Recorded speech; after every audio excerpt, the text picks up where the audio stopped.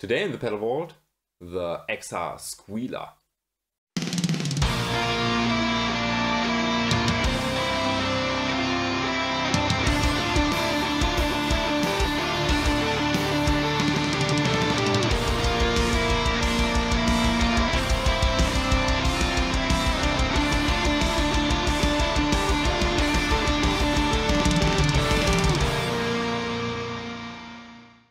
So here we have the pedal and I have to admit I really like the form factor.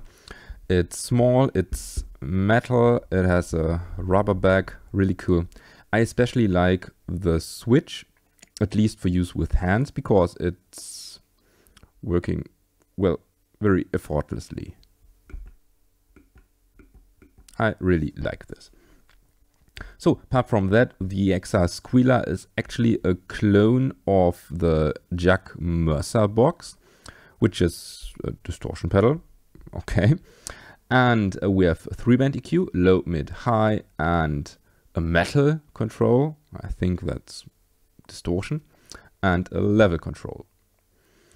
Nothing too spectacular here. So let's head over to the EQ curve.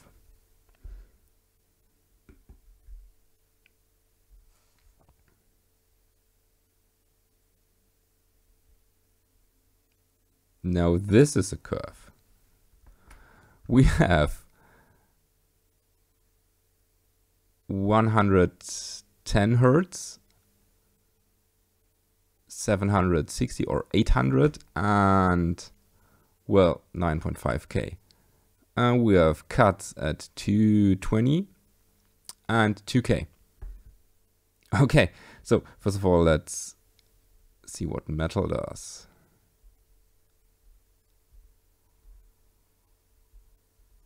Seems to boost the low frequencies a bit. So let's leave it at noon. Now low boosts this peak.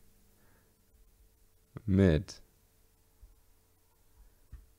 boosts this peak and decreases the cuts.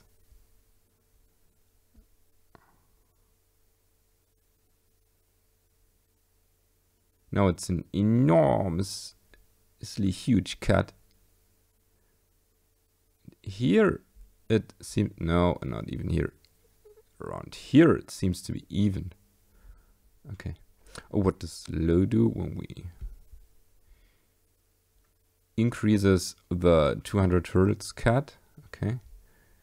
Now high.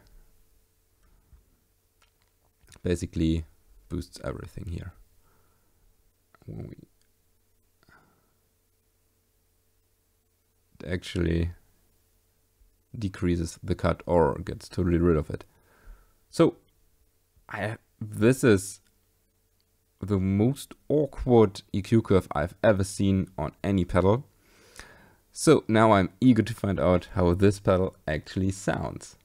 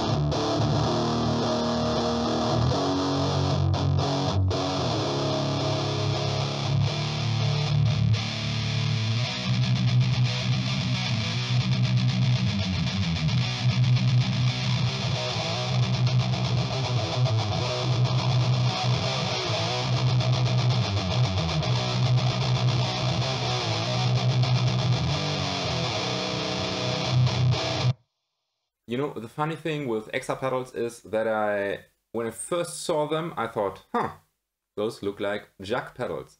And Jacques pedals were my first pedals at all. Uh, my first ever, or at least my first serious distortion pedal was a Jacques Bad Fuzz. And I was too young to be able to dial it in. It sounded awful, but I thought, ah, it has to sound good. It was expensive. Initially, I sold it and now I kind of regret it because those have become pricey. Exar is actually making a version uh, called the Kamikaze and maybe someone of you has a Exar Kamikaze and wants to sell it to me. Let me know down in the comments. Now, I've slightly driven off. Back to this pedal. Um, I had high hopes because I know Jacques makes, or made, not sure, uh, awesome stuff. And, well, this was one of the few occasions where I actually tried the pedal before shooting a review. And it was really meh. I thought, oh, this is not gonna be a good review. And this was because I mostly used it in front of a clean amp. And in front of a clean amp, it does a rather normal job for a cheap distortion pedal.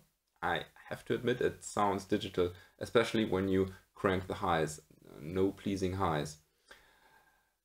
And then, while shooting the actual video, I tried it in front of my 2Go driven amp and suddenly it sounded awesome.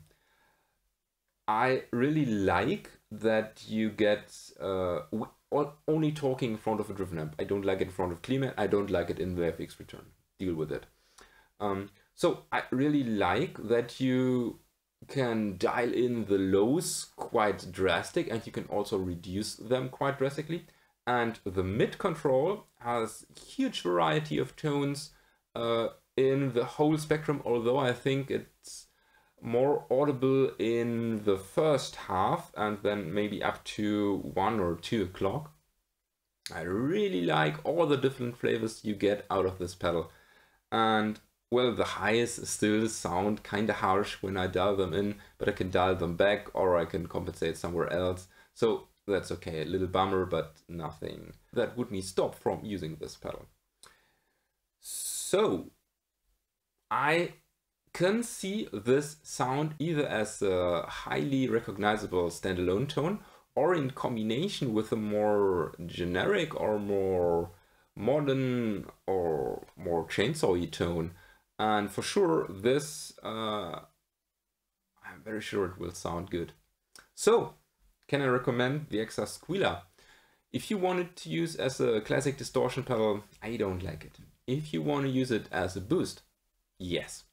Especially when you get it cheap, and I got this dirt cheap, I think it was uh, 35 euros included shipping. And that's a real bargain. So yeah, let me know down in the comments, do you own any other pedals from Exar or Jacques, or do you know those pedals? And if it's the Kamikaze, sell it to me. And what do you think about this pedal? How did you like the sound? And uh, if you want to support this channel, uh, you might want to check out the links in the description. Well, and with this said, thank you for watching. Don't forget to subscribe. May the force be with you and have a nice day.